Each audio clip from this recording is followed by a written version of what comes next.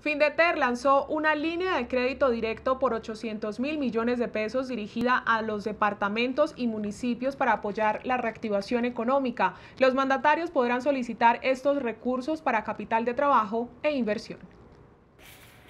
Findeter señaló que al ser crédito directo, las entidades territoriales no requieren la intermediación de los bancos comerciales.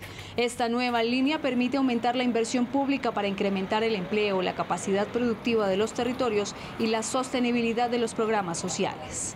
Esta línea por 800 mil millones de pesos está dirigida a las entidades territoriales, esto es, alcaldías y gobernaciones. Es un crédito directo con tasa compensada para que los alcaldes y los gobernadores del país puedan utilizar estos recursos en capital de trabajo o en inversión para mitigar todos esos efectos que han tenido por eh, la pandemia que tenemos en curso. Los recursos podrán ser invertidos en salud, transporte, agua y saneamiento básico, desarrollo urbano y energético, recreación, deporte y cultura, medio ambiente, industrias creativas y culturales, así como turismo. La línea denominada Compromiso Reactivación Tramo 2 tiene recursos del Gobierno Nacional, del Fondo de Mitigación de Emergencias FOME.